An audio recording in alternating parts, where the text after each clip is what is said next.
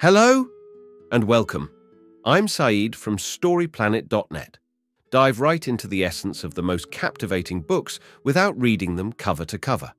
Whether you're on the go, at the gym, or just relaxing at home, we offer you a unique and enriching listening experience. Today, we are exploring the book Rethinking Narcissism, a creation by Craig Malkin. In Rethinking Narcissism, 2015, new insights on arrogance and vanity are offered, exploring their historical and cultural contexts and the various facets of narcissism. The book also offers practical advice on identifying and managing relationships with narcissistic individuals. Before we delve into these revelations, it's interesting to note that Craig Malkin, a clinical psychologist, has authored relationship articles for prestigious outlets like Time and Psychology Today, Additionally, he leads workshops on couples therapy through YM Psychotherapy and Consultation. With six key ideas to unveil, brace yourself for a deep dive into this captivating book on storyplanet.net. To start, discover the reasons and techniques to practice self-love the text discusses narcissism, explaining that narcissists have an excessive self-love that makes them focus solely on themselves in conversations, causing frustration in their friends.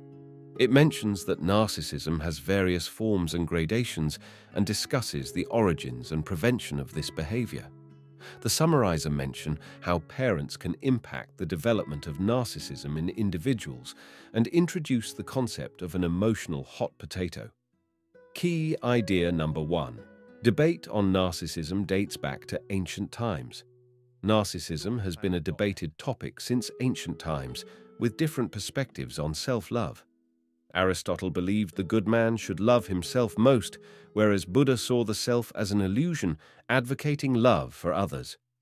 Sigmund Freud introduced the concept of narcissism in the early 20th century, emphasizing the importance of self-love in building meaningful relationships. Freud viewed self-love in infancy as essential for personal development.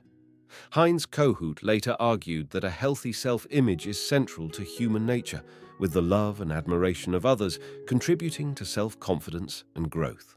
Key idea number two, a spectrum can help differentiate between healthy and unhealthy narcissism. Humans have a mix of strengths and weaknesses, not purely good or evil. Avoid black and white thinking when assessing character by using a spectrum for different personality traits. Zero represents abstinence, and 10 signifies addiction on the narcissism spectrum. Those at zero are overly selfless, while 10 craves constant validation. Healthy balance lies between 4 and 6, with 5 being ideal for being successful yet selfless. Moderation is key in managing narcissistic tendencies. Key idea number three. Narcissism varies and has three forms. Narcissism is flexible, fluctuating based on situations. It can manifest in various forms. Extroverted, introverted, and communal narcissism. Extroverted narcissists seek attention openly, while introverted ones avoid it despite feeling superior. Communal narcissists pride themselves on being generous. Adolescence is a period where narcissism can be necessary for self-esteem. Key idea number four, genetics and upbringing play a significant role in determining our capacity for self-love. Genes and upbringing influence behavioral tendencies, including narcissism, with examples of Jean and Chad illustrating the impact of parenting styles. Jean's upbringing led to low self-esteem, while Chad's excessive praise resulted in arrogance and isolation. Both cases highlight the importance of both nature and nurture in shaping our sense of self-worth. Key idea number five. Narcissism can be recognized by being aware of warning signs. The text explains how to recognize narcissistic behavior, such as a lack of self-confidence, sensitivity to criticism, and projecting emotions onto others. It highlights the challenges of dealing with narcissistic individuals in relationships and poses questions about how to navigate interactions with them. Key idea number six, balance your partner's narcissism by being vulnerable. Research shows that narcissists can display empathy when exposed to others' suffering. By calmly expressing how their behavior affects you, you can trigger feelings of compassion in them. This approach can help transform narcissistic behavior in your relationships.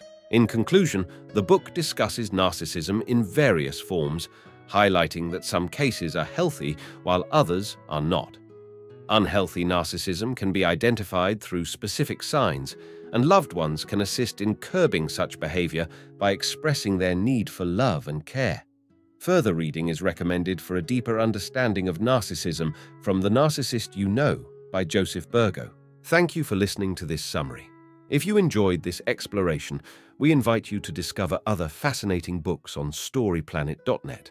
Don't wait any longer. A multitude of books, stories, and knowledge await you there. See you soon on StoryPlanet.net.